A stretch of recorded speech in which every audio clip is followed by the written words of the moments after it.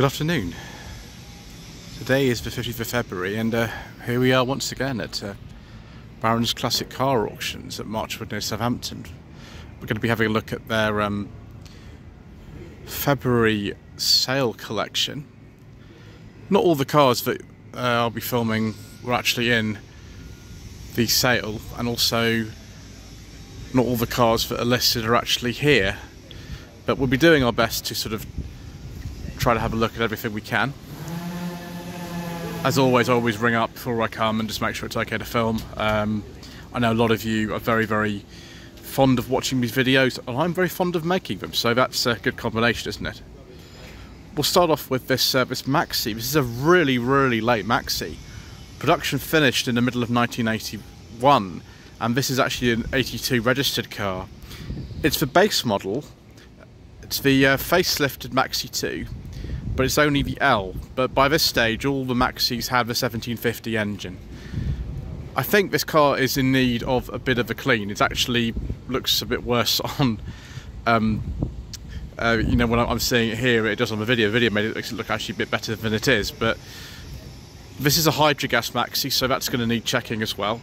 I think actually they've left this open. I imagine these are some sort of spares or something for the car in there. I'll try the other side might as well have a look at the back of it whilst we're here. That big hatchback. Strangely enough, they never thought to fit a rear wiper to these. I don't really know why. I don't really understand that. So we've got a fog light that was required for all cars, I think, after the middle of 1981, from, from memory, and some reversing lights in the bumper. I've driven a Maxi actually. I drove a um, 72 that one of my friends owns, Mr. Partridge. Look at that. Oh, yes, the Austin Rover logo's on there. And there's no Austin Rover badge on this. And by this stage, they weren't even called the Austin Maxi, it was called the Maxi. But uh, yeah, interior doesn't look too bad. Lots of spare bits in there for something else. So it, it needs maybe a bit more regression. Apparently, we actually drove to the auction house, so it still drives. It just needs a bit of cleaning up and things, maybe. But that's an interesting start. We'll uh, see other interesting things in there, no doubt. As I've confirmed with the auction house previously, if cars don't sell at a given auction, you do get to re-enter it for free. I think it's at least once. So uh, I think this car's been re-entered. It's a 2002 BMW E39 5 Series, specifically a 525 SE. Oh yes, we've got to save the estimate on the Maxi. Uh, that one is uh, estimated at uh, one to two thousand pounds. This BMW is estimated at four to five thousand pounds. So you can see it's obviously been rolled recently with the UK sticker. Haven't got a beige leather interior, I'm afraid, viewers. If this is this unlocked, if it is, we might be able to take a look. Oh, here we are. Oh, it's got a manual gearbox. Excellent, viewers. It's something we like to see. Firstly, I prefer a beige leather interior, but uh, most of you know my feelings about that. So just shut that properly. There we go. That's quite nice. Ooh. Yeah, that might need addressing at some point, viewers. Um, my camera autofocus isn't particularly good on this, which is a bit annoying, but there we go. Hmm. Also spotted something else that uh, I think might have made the thumbnail for the video. This exceptionally rare 1993 Audi V8. Look at this, viewers. Look at that. My camera is um, absolutely, utterly spoiling it as well, which is which is great.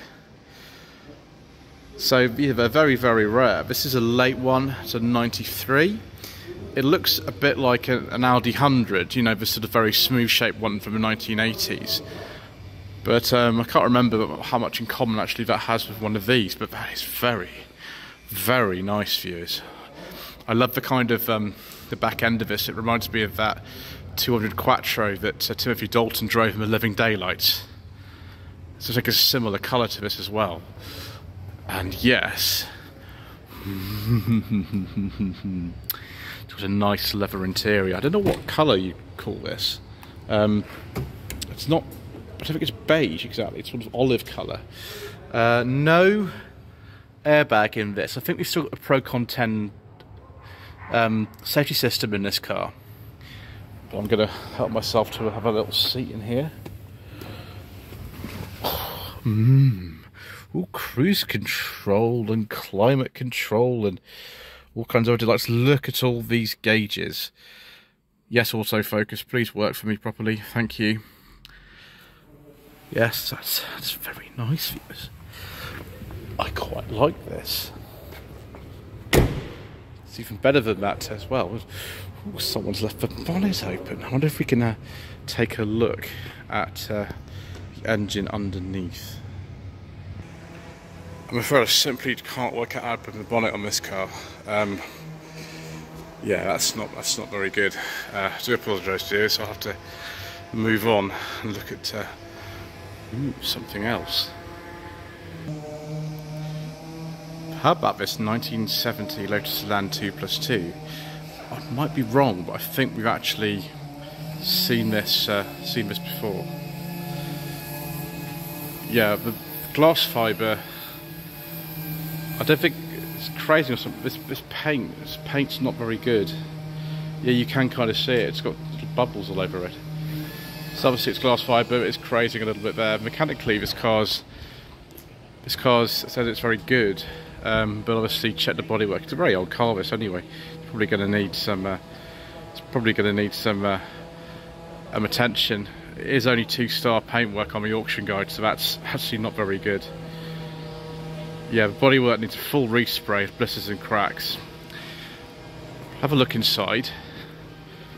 Not very common these plus twos. There we go. Wow. Oh, that smells fantastic, doesn't it?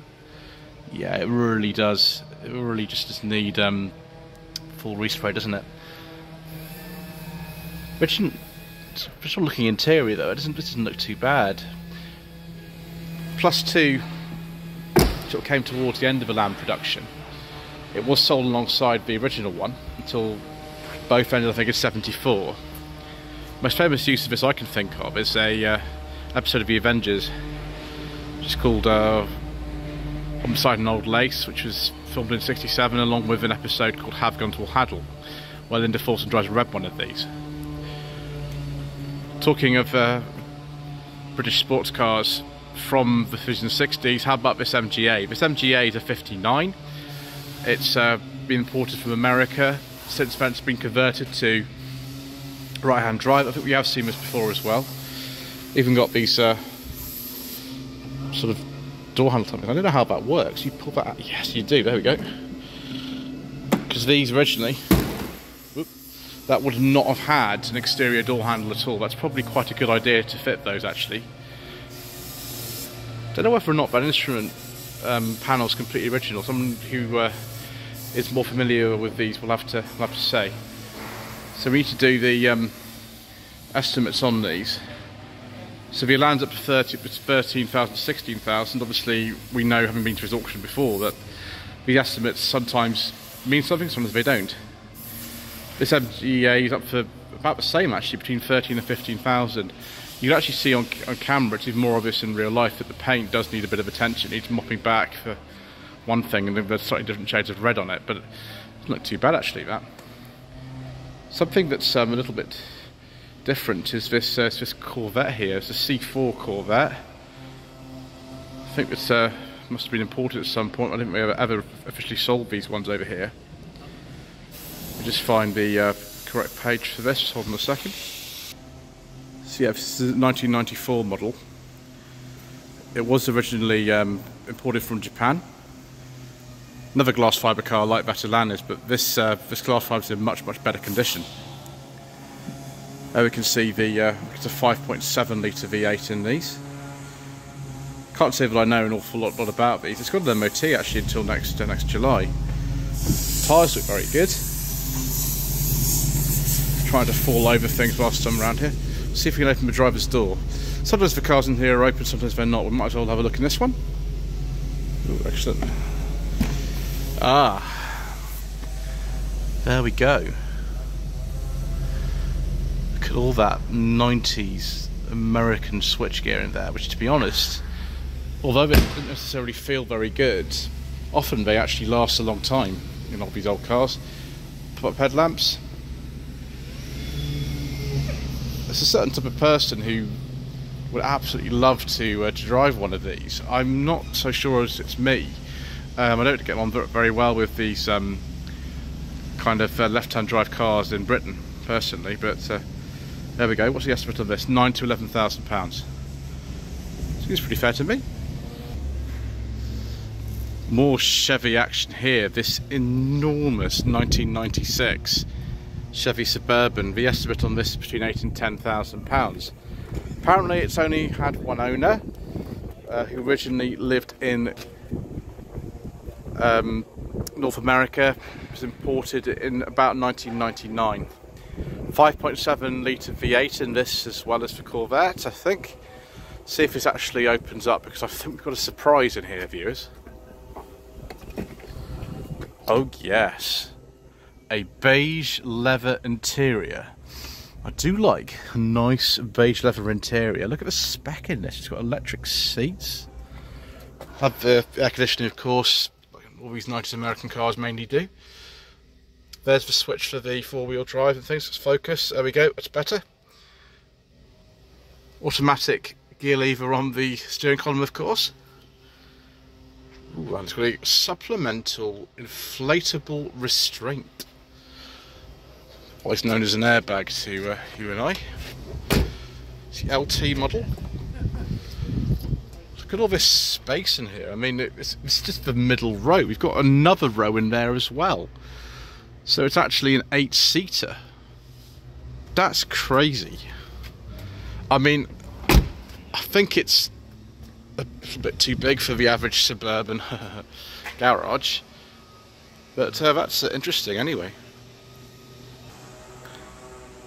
Well, our old friend the uh, Camaro's here as well, 71 Camaro. RS split bumper, which is a Z28 Tribute. Restored nine years ago in the United States of America. I don't know why this hasn't sold. It's very, very nice. I mean, we've been in here before, haven't we? We've been in here and looked inside. It's an auto. I'm getting sort of uh, Rockford Files vibes of this, viewers. Uh, the Rockford Files cars were much later than this. I think they started at around a 73 or 74. And they were actually the uh, Firebirds rather than the Camaros. But the um, body shape is quite similar on these. But yeah, the paint looks really good on this. Um, the estimate on this one? Between 22 and 26,000 pounds. Not really an expert in American cars, viewers, but uh, yeah, it looks pretty fair to me. So, this 2005 BMW 630i with the um, bangle design, I think this, this were. Estimate on this is between four and a half and five and a half thousand pounds. I'm not sure if this is beige or cream. It's sort of on the borderline. It, it actually looks like a nice colour on camera, but it does in real life. It's more sort of a yellow, yellowish shade. But yeah, 630. I think this was the um, most basic engine you could um, get with one of these, but certainly not basic um, specification at all, really. Again, I think we've uh, possibly seen this one um, before, haven't we? But uh, looks like we've got the early version of the iDrive down there as well. Amazingly, uh, despite all this sort of technology, it's got a normal handbrake in it, which is uh, remarkable, really.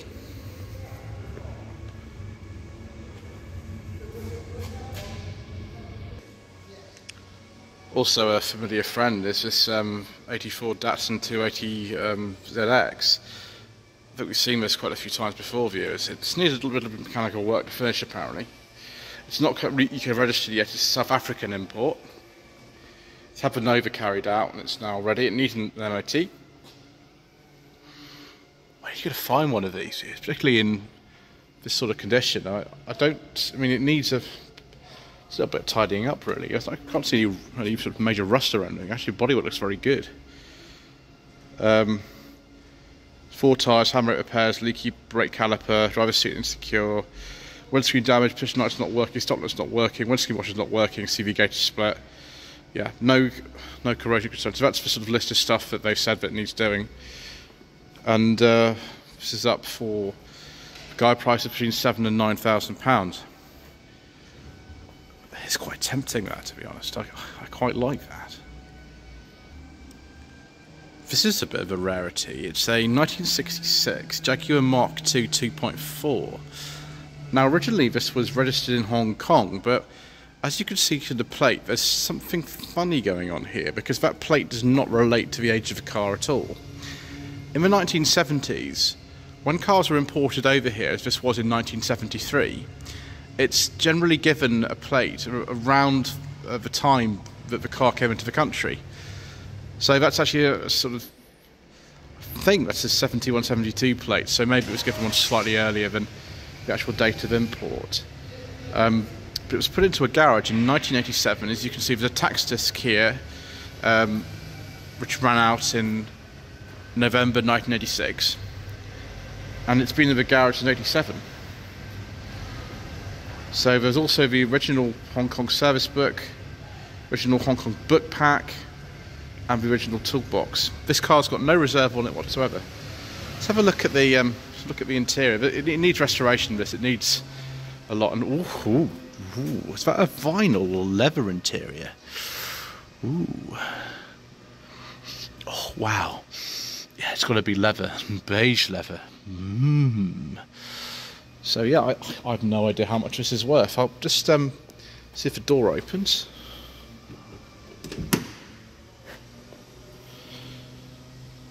Yeah, right hand handbrake.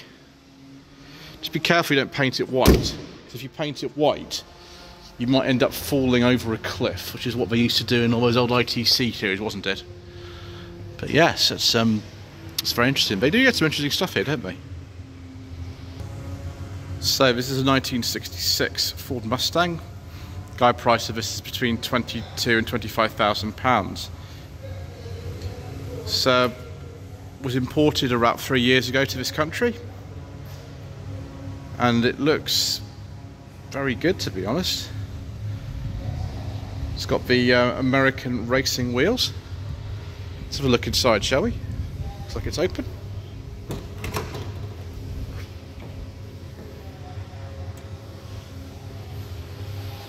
Wow. This is really nice. That's really really nice actually not really my bag particularly. I'm not. I'm not massively into Mustangs, but I mean, if you if you were, that would be a really good example. So viewers, the much understood uh, V6 engine Ford Cougar. This is a 1999, built over in America. I think it's somewhat based on a Mark II Mondeo platform, but I'm not sure if it's exactly the same. These are very rare now, and uh, there's a reason for that, and that's chronic rust. Uh, this one seems remarkably good. Estimate is between one and a half and three thousand pounds. Let's uh, take a look inside if it's open. It's got a very different dash in it actually from um, Mark II Mondeo. All the uh, Ford Contour, Mercury Mystique if you're in America. Those dials though look quite familiar. Same Duratec V6 2.5 litre. This one's a manual. I think we recognise that radio from uh, some other 90s Ford, don't we, viewers? I think we do know that. This is pretty good, actually, for one of these. It's, it looks really good. Look at the little Cougar logo there. Headlamps aren't too bad. They could probably do with a little bit of a buff, but they aren't too bad. It's not very come very far actually. Originally supplied by Ford in Bournemouth.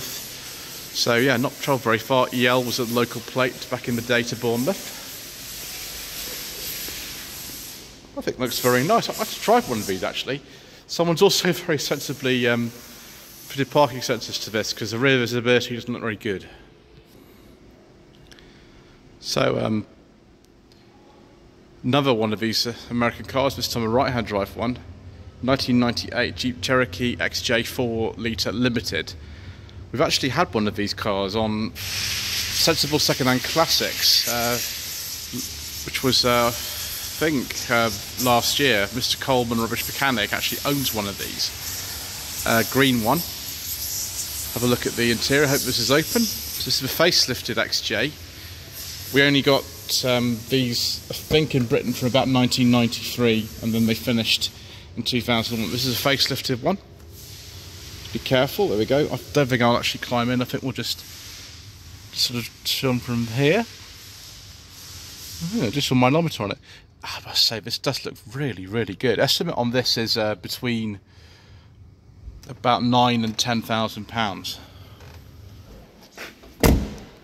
That's that's in really nice condition, actually.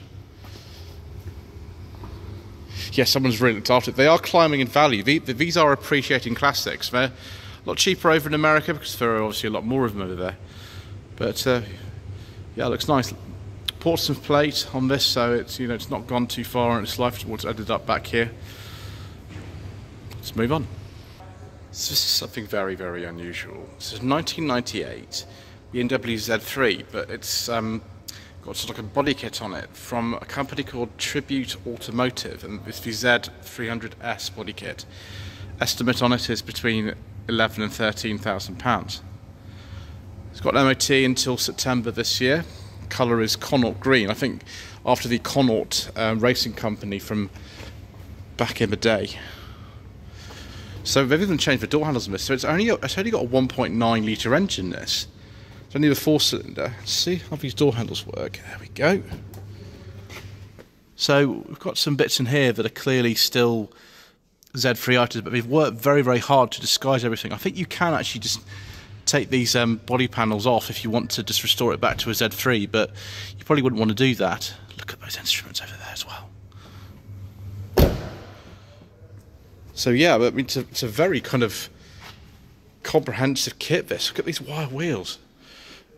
I mean, it's not it's not exactly what I would personally have myself, but if you want something that's a lot cheaper than you know the sort of Aston Martin and Ferrari races of the 50s, it looks just like it, then that might be an option.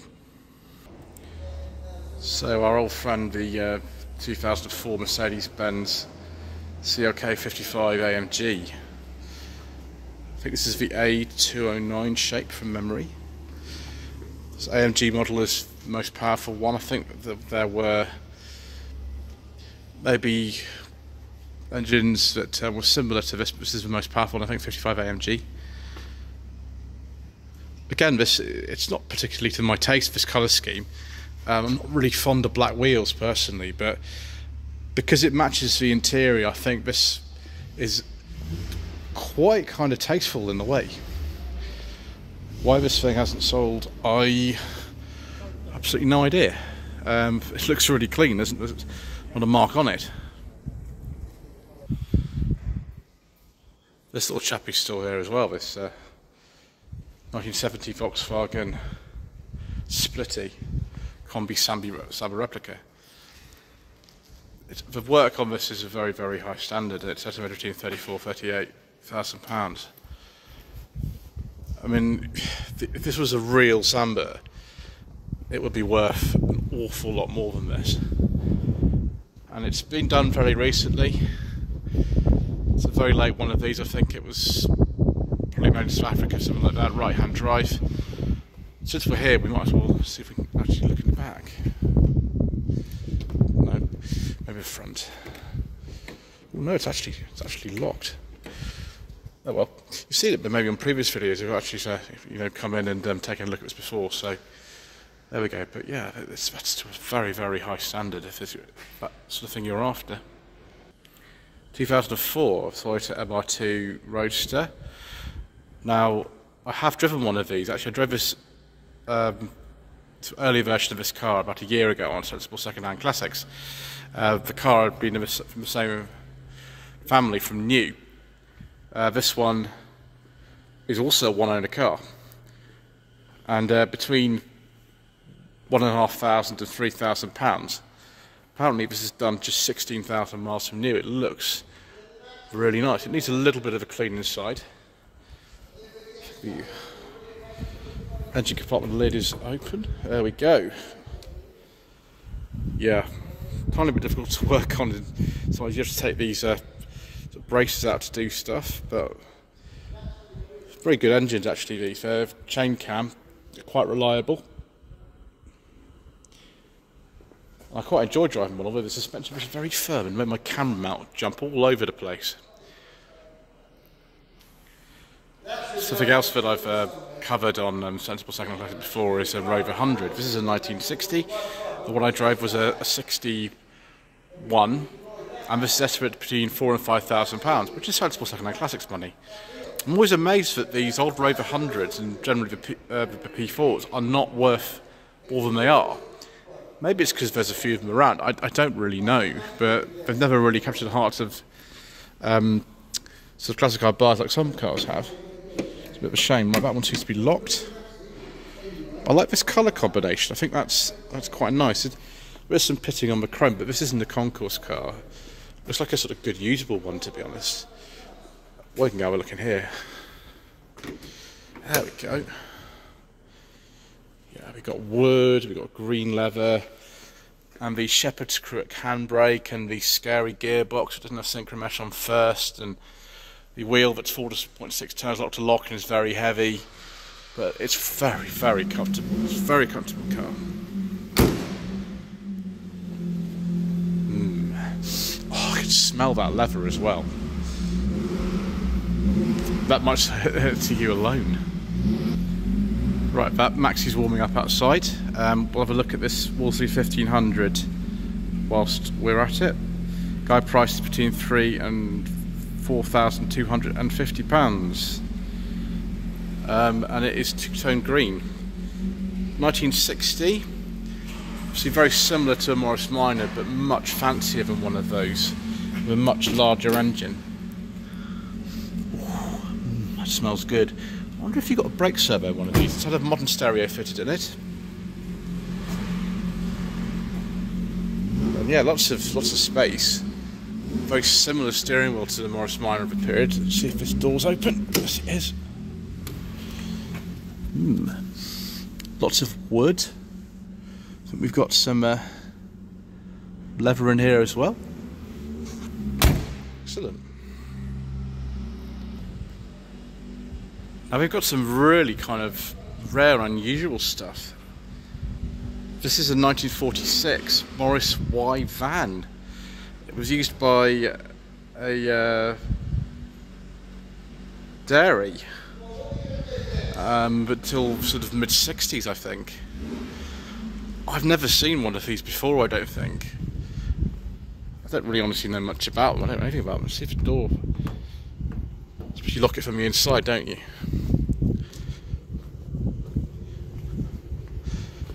Registered somewhere in Buckinghamshire. See if this door's open. There we go. Just very careful. Look at this. Wow.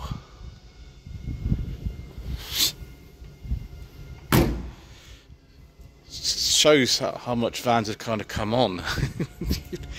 However long it is, about you know, 75 years.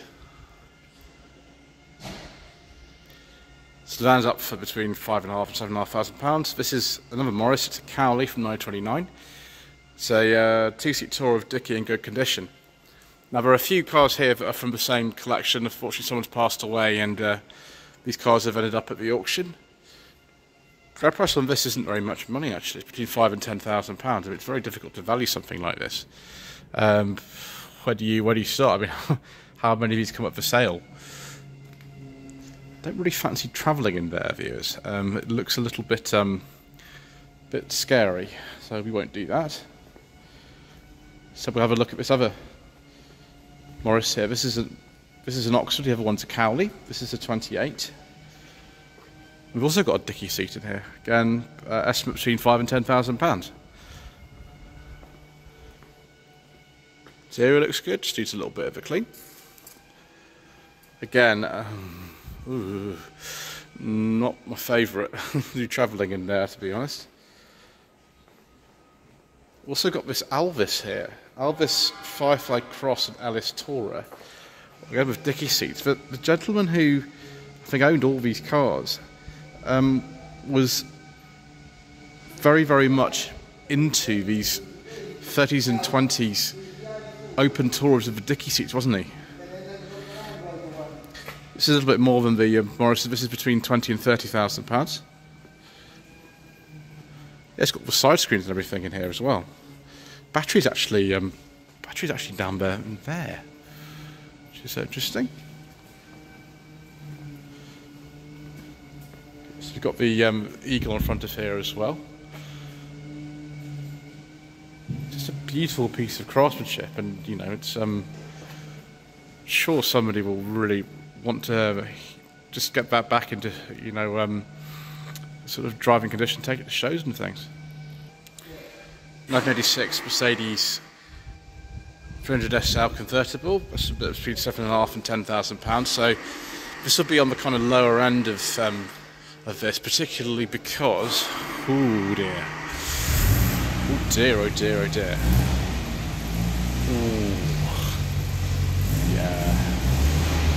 Um, replace lower door and wing rib panels, repairs to outer seals around jacking points, repairs to upper ring wings on there, but rear wings.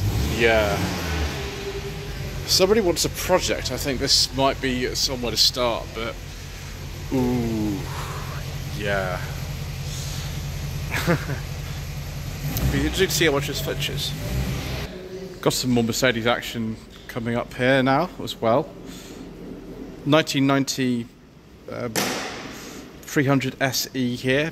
Estimates between nine and ten thousand pounds. I think they call this a W126 model. Interesting. Mercedes-Benz Great West Road. I wonder if those are the original dealer plates, actually. Would be in Brentford in London, it would come from in that case. Hmm. Well, that does look really rather nice. Looks in very nice original condition, this actually. Next we've got another S-Class. If I can actually find the right thing on here. Yes, a W116 this time. This is a 79. It is a um, 280 SE. Proper sort of Fiorise only spec, isn't it, this? Just been recommissioned. What's this one to this? Between seven and nine thousand pounds. Interesting how this one's worth a little bit more than the other one. Yeah, it's, it's locked, isn't it? Never mind. Ooh, headlamp wiper action as well. Yeah. I just hope that Roger Moore doesn't push me off a cliff if I sit in it. More Mercedes-Benz action. More Mercedes-Benz action and also more leather interiors, views.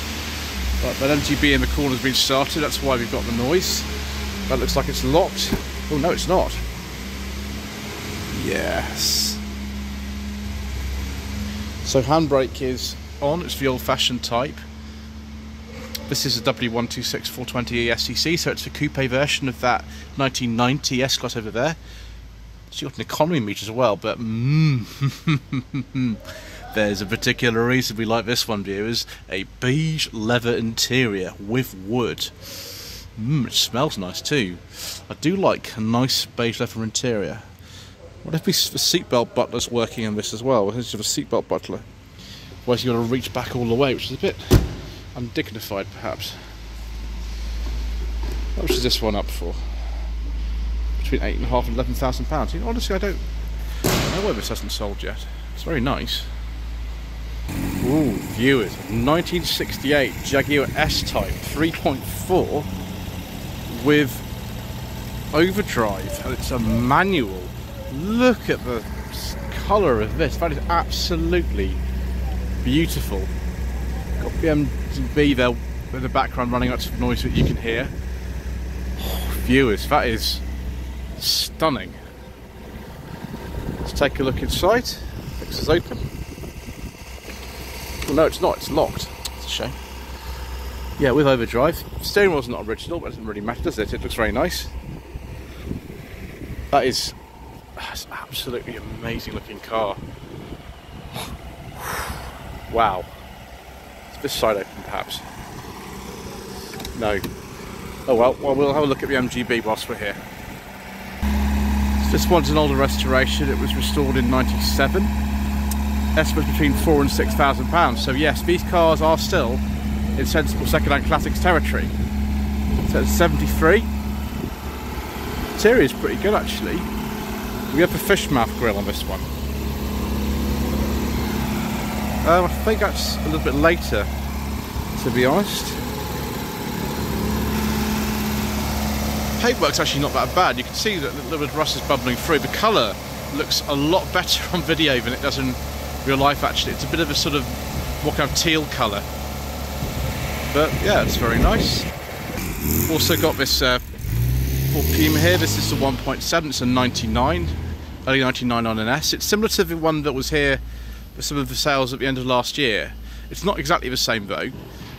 This one actually might be uh, a bit nicer. We'll have a look at the 4Runner in a second. This has been, gosh, this has been around, hasn't it, for a long time in the uh, the auction house. Just needs a bit of a clean and it's pretty perfect. There's no there's no rust around here on the arches or anything. That's very very good actually. If you're looking for a nice Puma. So the old V6 4Runner, 1994. This is uh, been up for sale quite a few times at the auction. I think it's locked, so we can't get in. But it's, it's a three litre V6. Estimate between three and a half and five and a half thousand pounds. And uh, unsurprisingly, I quite like that viewers. Another Mercedes here, 1991 W124. Um, this is a 260E. This actually is up for no budget reviews money. It's estimated between 500 and 1500 pounds. Paint's a bit sort of dull on this side. It's probably had a respray at some point. But I mean, if it's no budget reviews money, uh, does it really matter? Let's have a look at the more detailed description here. So, uh, there's no MOT and the car's currently sawn. It needs finishing off. Near side a rear door collar to boot, full size alloy spare. In April 22, it it uh, has actually had um, service. New water pump, wall cooling hoses, new radiator and drive belt. So there's some history with it. Didn't realize you could pick these up so cheaply still. Obviously he hasn't got an MOT, so I mean, I mean who knows what else needs doing. This an early P38 Range Rover. This is a 4.6 HSE, which I think was the uh, top of the range actually at the uh, at the time. And it's dark green with a beige leather interior. It's only done 39,000 miles. Estimate of this is between 4,500 and 6,000 pounds. So this has had some, had some work done to it, hasn't it, over the years? Unlike P38s I've seen before, it doesn't look rusty. See, does everything work? I don't know. It's also locked, which is a bit of a shame, but you can just about see the colour of the interior. Actually, it looks better on video, as you know, it's usually the case. Just mind up my way whilst we're reversing over here. Yeah, I love the colour of that. That's not really a surprise, though, to anybody, is it, viewers? So there we are, the end of another shambolic shuffle around Barons Classic Car Auction. You see uh, a hive of activity today, and uh, I better get on my way home before I buy anything. So thank you ever so much indeed once again for watching. Please don't forget to subscribe to the channel, like and comment below, and uh, we'll see you again soon for more incorrect information.